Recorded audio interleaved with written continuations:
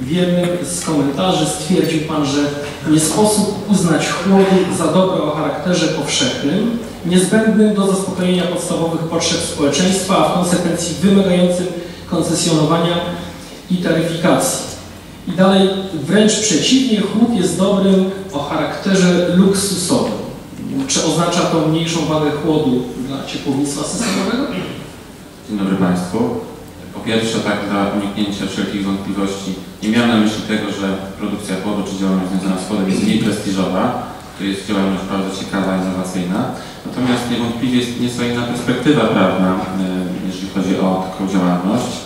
O ile już konstytucja wyraża pewną zasadę swobody prowadzenia działalności gospodarczej i stanowi, że wszelkie ograniczenia, takimi ograniczeniami innymi jest koncesjonowanie czy wymagają, żeby istniał pewien ważny interes publiczny. Należy zastanowić się, czy taki interes publiczny w zakresie chłodu istnieje. O ile powiedzmy energia elektryczna i ciepło jest rzeczywiście towarem powszechnym, na które jest powszechne zapotrzebowanie, a która chłód jednak w naszej szerokości geograficznej takim produktem nie jest. Pewnie inaczej byłoby na Saharze, gdzieś w okolicach północnej Afryki, tam może być sytuacja odwrotna, chłód jest niezbędny, a ciepło nie do końca. W związku z tym należałoby takiej działalności ograniczyć.